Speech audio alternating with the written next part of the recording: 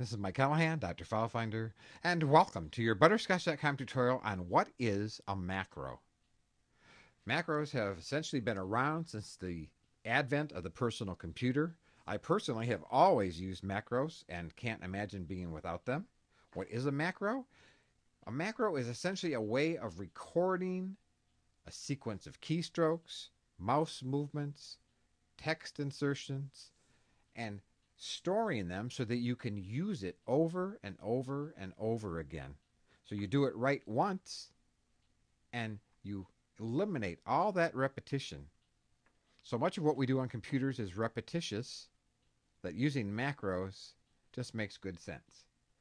I personally use Macro Express, but there are a number of other good macro programs, and I have links to those in the show notes. Just to show you a few things you can do with macros. Put in the date. Typed a few letters. There's the date. Gets the date from the system. Perhaps I want to put in my butterscotch.com signature that goes at the bottom of my emails. Instead of typing it all out, I type three characters and there it is. Now, the majority of people call me Doc but my daughters don't. So for them, I have a signature to my emails that says Dad. My granddaughter Kalia calls me Grandpa, so I have a signature for that too. For those who call me Doc, I have a signature for that as well. Sometimes I'm in a document and I want to put in a line. There's a line. Sometimes I want a shorter line. And there it is. There's the time.